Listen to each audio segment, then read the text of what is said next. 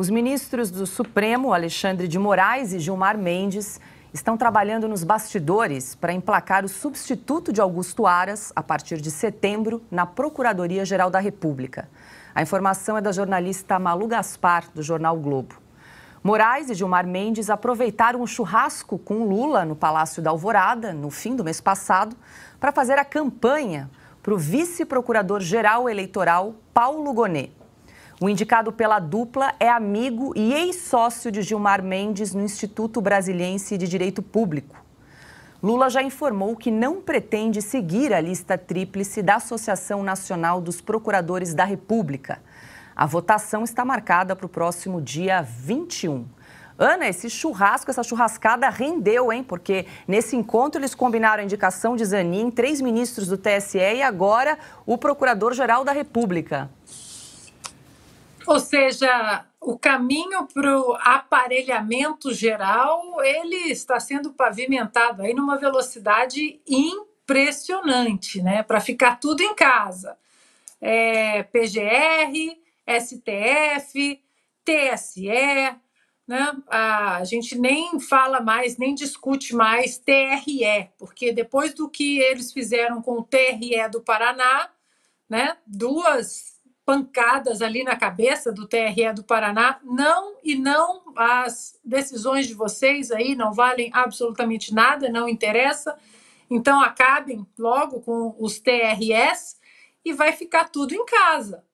Agora, procurei aqui, mas não encontrei nos perfis, né, que foram contra o presidente Bolsonaro durante quatro anos inclusive que criticaram de maneira veemente o presidente Bolsonaro indicar um nome para a PGR fora da lista tríplice, né?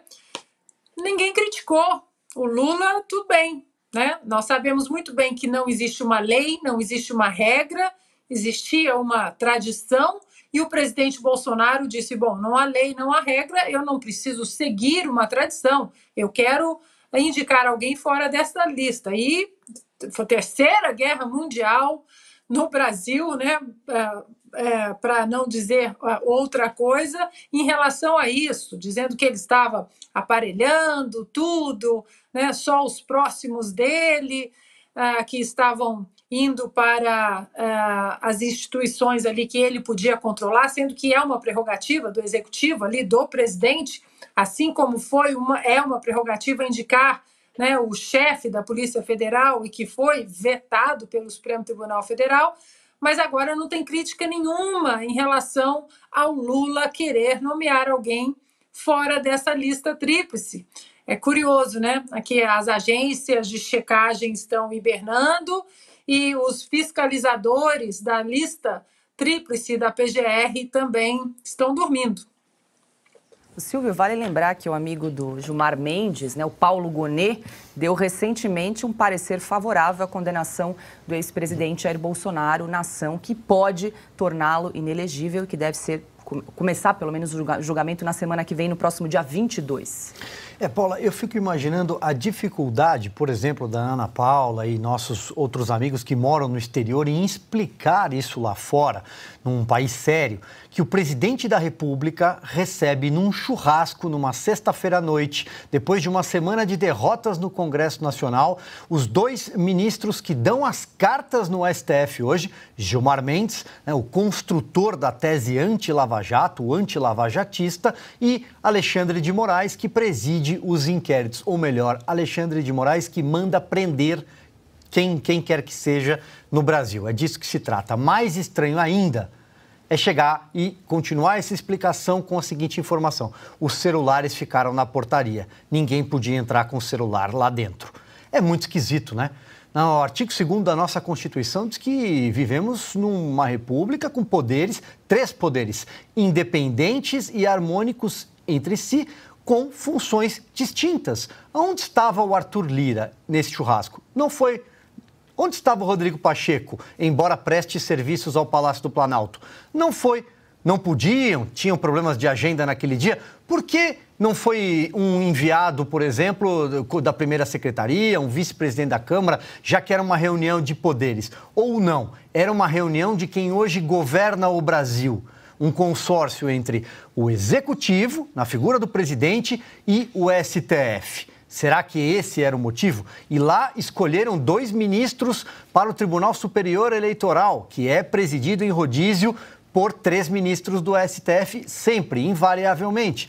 Lá fecharam a indicação de mais uma cadeira para o STF, falamos sobre isso agora há pouco. E agora surge uma questão envolvendo a Procuradoria-Geral da República. Isso está tudo errado. Não há impessoalidade. Não há nenhum limite para isso no Brasil. Mas também achar que isso é uma novidade não é. Vamos lembrar que em 2006, uma amiga, o Augusto conta essa história muito bem, uma amiga da ex-primeira-dama Marisa Letícia tocou a campainha e disse: Olha, o meu filho tem um talento incrível e ele poderia ser ministro do Supremo Tribunal Federal. Era Ricardo Lewandowski, ele ficou lá de 2006 até este ano e foi colocado lá para ser o revisor da ação penal 470 que tratava do mensalão. Ele foi lá para atenuar as penas impostas por Joaquim Barbosa, o então relator, chancelar pelos demais membros da corte. Foi lá limpar a barra para o PT. Quem está chegando aí vai seguir a mesma trilha. Paulo, chama a atenção que a sugestão de Paulo Gonet, nosso xará aqui, indicado aí pela dupla Alexandre de Moraes e Gilmar Mendes, ele foi sócio de Gilmar Mendes no Instituto Brasileiro de Direito Público. Ah, Paula, isso é só uma coincidência. Tá todo mundo aí interessado na preservação bem-estar de todos, na liberdade, né? Olha, o que acontece no Brasil, assim, cada dia a gente tem a demonstração de que nós estamos em um outro regime, uma coisa única, jamais vista no planeta, com o judiciário superpoderoso num consórcio com a imprensa tradicional, com parte do executivo, uma parte do Congresso, uma, um grande combinado, e a Constituição é só um detalhe. Veja, numa democracia de verdade, existe, ela, aliás, precisa que exista uma vontade dos atores nela inseridos de fazê-la funcionar. Eles têm que ter uma conduta que reconhece um limite próprio, muito além daquele que está estabelecido na lei, porque em alguma escala a lei ela vai precisar ser cumprida, aliás, ela só pode ser cumprida se aquele que está lá uh, exposto a ela quiser cumprir, como é o caso do ministro do Supremo, porque não tem mais nada acima dele, já especialmente agora que o Senado se recusa a fazer. Né? Então, é, é preciso que tenha essa postura. E nós estamos tendo o contrário. Quando um presidente indica um ministro do Supremo e o Senado aprova e diz assim: olha, você é ministro até os seus 75 anos de idade, isso é uma blindagem para que ele não seja exposto a ameaças políticas e possa exercer o seu cargo em sua plenitude. Aqui está virando o contrário. Virou uma garantia de poder ir fazer política, construir projeto de poder sem ser amolado. Porque é isso. Qual é o interesse em ministros fazerem um movimento para indicar o PGR, o responsável pelo órgão da acusação? Você já extrapolou a ação do poder constitucional há muito, em muito, quando tem esse tipo de conduta. Né? E isso não vai terminar bem. Eu não sei até quando vai durar, eu não sei o, quais os danos uh, ocorrerão, eles já são bastante, sobretudo, garantias de liberdade, que nós já não temos mais, pelo menos para um grupo social, já não há. É, segurança jurídica, percepção de segurança jurídica da população, a população já desconfia das decisões, vem componente político em tudo isso, e aí o, o caminho, é, esse é o caminho inverso da civilização, é um caminho uh, de barbárie, quando o, é, ainda mais as, a, a instituição da arbitragem ela é completamente desmoralizada, como a gente está vendo. Só que no jogo de Brasília eles não enxergam mais nada. Né? Essa é, é, é uma reunião para dividir a pizza do poder de Brasília e cada um está interessado na sua fatia e não está nem aí para quem está lá fora. Augusto. Olha, é, da, é nosso dever continuar dizendo que o rei está nu. Né? Tomara que os brasileiros ouçam a tempo, a maioria dos brasileiros, porque vamos lá. O, Supremo Tribunal Federal interferiu decisivamente no processo eleitoral. O Supremo Tribunal Federal prendeu um candidato e soltou, prendeu não, soltou um candidato e vai tentar suspender os direitos políticos de outro, que é o Jair Bolsonaro, está claro. Nomeou, no, o Supremo nomeou num churrasco, né, emissários do Supremo, os mesmos. Nomearam, como lembrou o Silvio muito bem, dois ministros do Tribunal Superior Eleitoral. Em seguida, eles vão usar a maioria absoluta, agora do, Supremo, do é, TSE, para punir apenas quem simpatiza ou parece simpatizar com o Jair Bolsonaro. Há quatro anos, repito, ninguém que simpatiza com o Lula é punido pelo Supremo Tribunal Federal. Em outro churrasco, eles agora resolvem indicar o chefe do Ministério Público brasileiro. Primeiro, o Alexandre de Moraes desmoralizou o sistema acusatório. Agora eles querem simplificar as coisas. Eles querem um procurador-geral que acuse ou peça a absolvição do réu conforme o Supremo, conforme o, os humores do Supremo Tribunal Federal. É o controle de todo o judiciário e seus arredores. E que eles estão fazendo isso. Estão fazendo isso com o presidente da República, que, segundo a Constituição, deveria nomear. Né? Não, é sobre a, não sei se é texto constitucional, mas como você citou, Silvia, uma lista tríplice é encaminhada né, pelo Ministério Público e o presidente escolhe. Se quiser escolher fora, tudo bem, desde que faça sentido. Agora, escolher alguém indicado pelo Supremo, quer dizer, o juiz agora decide qual é o promotor da comarca e fala: olha aqui, absolve esse, solta aquele. Aí já é a esculhambação, é a tal suruba institucional, estão acabando com as instituições.